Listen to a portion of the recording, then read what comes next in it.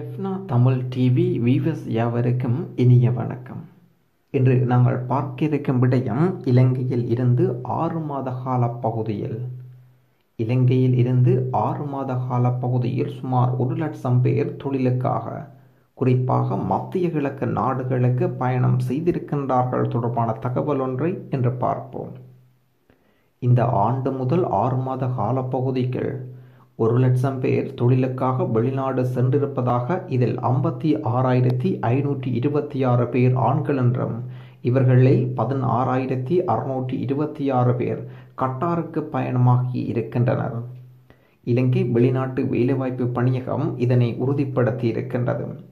அத்துடன் குறித்த காலப்பகுதியில் முப்பத்தி ஒன்பதனாயிரத்தி முன்னூற்றி எண்பத்தி ரெண்டு பெண்கள் வெளிநாட்டு வேலைவாய்ப்புக்காக சென்றிருக்கின்றனர். இதில் அதிகமாக பதினான்காயிரத்தி தொள்ளாயிரத்தி நாற்பத்தி எட்டு பேர் குவைத்துக்கு சென்றிருக்கின்றனர். இதேவேளை வெளிநாடுகளில் உள்ள தூதரகங்களில் தொழிலாளர் பிரிவின் கீழ் உள்ள பாதுகாப்பு முகாம்களில் தங்கியிருந்த எண்ணூற்றி ஐம்பத்தி எட்டு பெண்கள் வெளிநாட்டு வேலைவாய்ப்பு பணியகத்தின் தலையீட்டினால் நாட்டுக்கு அழைத்து வரப்பட்டிருக்கின்றனர். அதில் அதிகமானோர் குவை தூதுவராலயத்தின் பாதுகாப்பு வீடுகளில் தங்க வைக்கப்பட்டவர்கள் என்பதுடன் ஐநூற்றி எண்பத்தி எட்டு பேர் இவ்வாறு நாட்டுக்கு வந்திருக்கின்றனர்.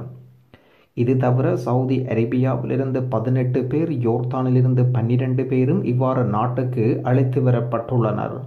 இரண்டாயிரத்தி பத்தொன்பதாம் ஆண்டு முதல் ஆறு மாத காலப்பகுதியில் தொண்ணூற்றி ஐயாயிரத்தி தொள்ளாயிரத்தி எட்டு பேர் தொழிலுக்காக வெளிநாடு சென்றுள்ளதுடன் அதில் ஐம்பத்தி ஆறாயிரத்தி ஐநூற்றி இருபத்தி ஆறு பேர் ஆண் தொழிலாளர்கள். ஆண் தொழிலாளர்கள் அதிகமாக கட்டார் நாட்டுக்கு சென்றுள்ளதுடன் அவர்களின் மொத்த எண்ணிக்கை பதினாறாயிரத்தி அறுநூற்றி இருபத்தி ஆறு ஆகும். இரண்டாயிரத்தி பத்தொன்பது ஜூன் மாதம் வரையான காலத்தில் முப்பத்தி ஒன்பதனாயிரத்தி முன்னூற்றி எண்பத்தி ரெண்டு பெண் தொழிலாளர்கள் வெளிநாடு சென்றுள்ளதுடன் அது மொத்த வெளிநாடு சென்றுள்ள தொழிலாளர்களின் நாற்பத்தி ஒரு வீதம் ஆகும். இதேவேளை சவுதி அரேபியா நாட்டுக்கு தொழிலுக்காக சென்றவர்களின் மொத்த எண்ணிக்கை பதினாறாயிரத்தி எழுநூற்றி நாற்பத்தி ஏழு என்று தெரிவிக்கப்பட்டுள்ளது என்று நாங்கள் பார்த்த விடயம். இலங்கையில் இருந்து மத்திய கிழக்கு நாடுகளுக்கு குறிப்பாக கட்டார் குவைத் சவுதி அரேபியா போன்ற மத்திய கிழக்கு நாடுகளுக்கு பயணம் செய்தவர்கள் ஆறு மாத காலத்தில் மட்டும் ஒரு லட்சம் பேர் காணப்படுகின்றனர்.